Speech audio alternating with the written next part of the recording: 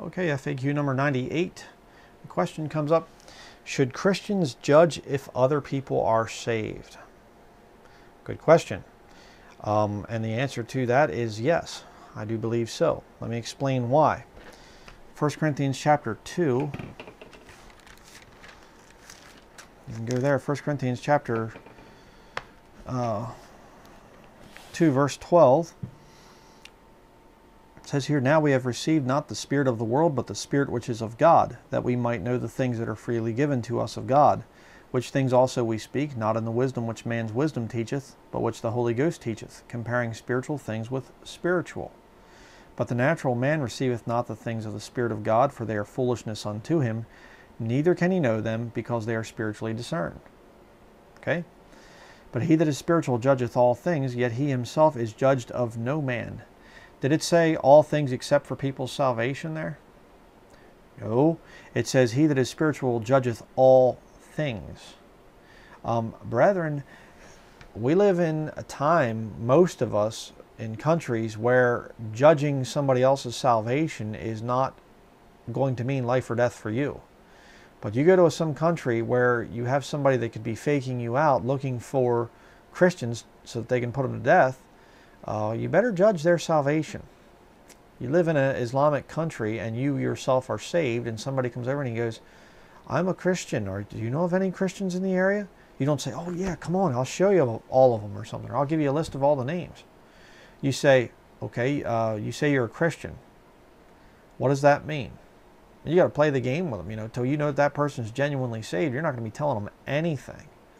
See?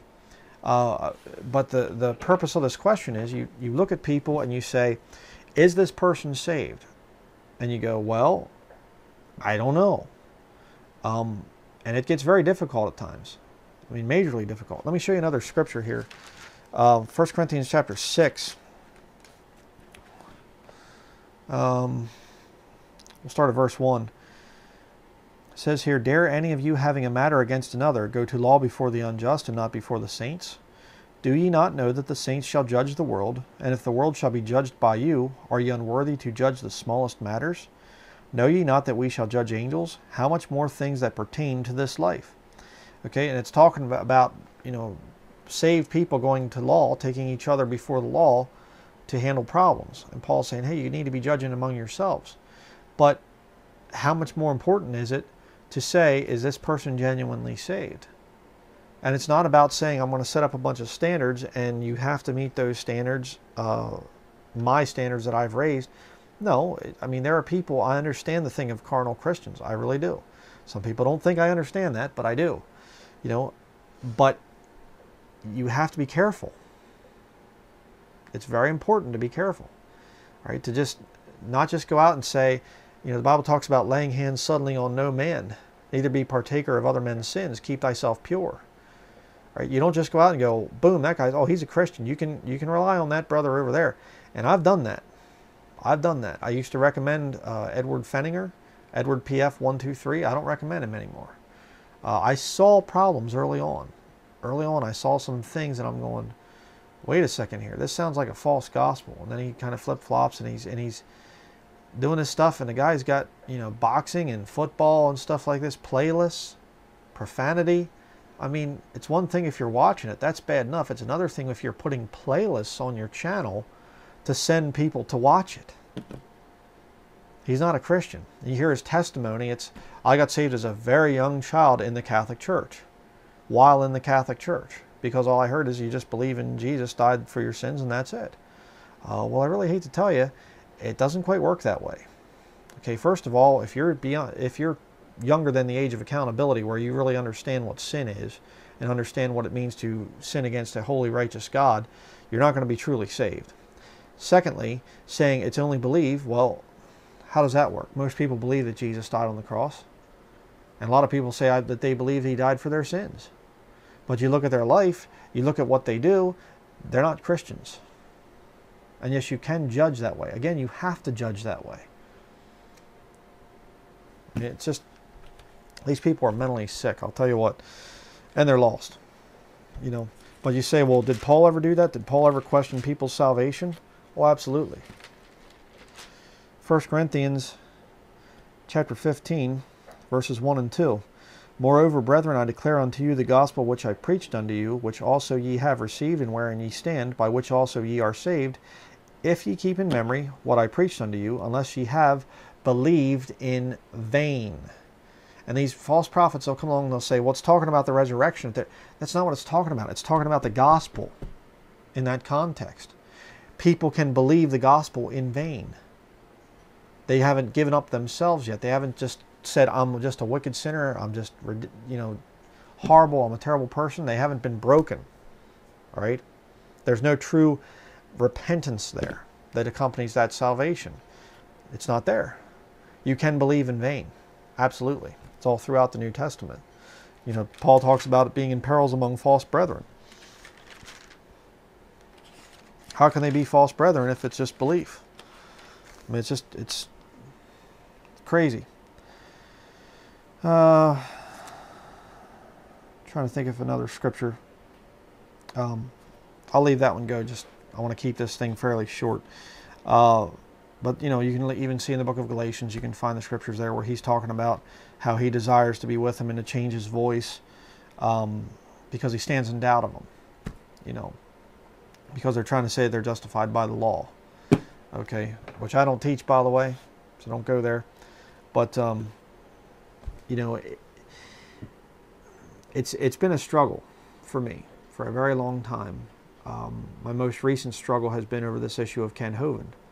You know, I look at Kent Hovind and I say, you know, for a long time I was like, oh, he's not only saved, but he's a great man of God.